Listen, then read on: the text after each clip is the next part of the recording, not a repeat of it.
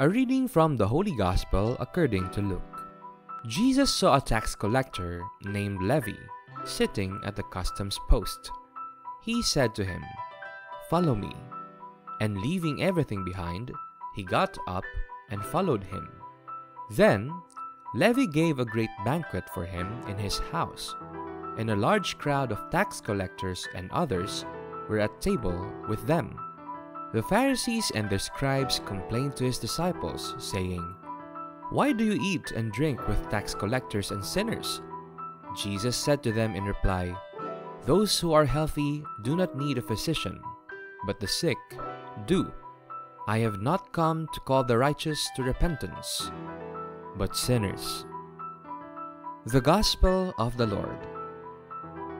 Tax collectors and sinners. Since in Jesus' time, Israel was under the Roman power, Caesar and his family, agents, and political kins had an interest in everything. Caesar's estates were overseen by the Roman prefects of Judea. The Roman emperor was the main beneficiary of the taxes, as well as tribute from the local rulers, the Herodian kings, ethnarchs, or ethnarchs.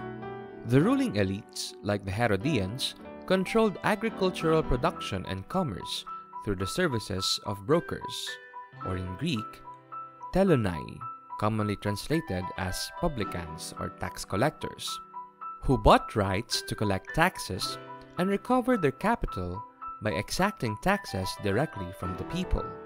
One such person is Levi, who is called by Jesus while sitting at the customs post.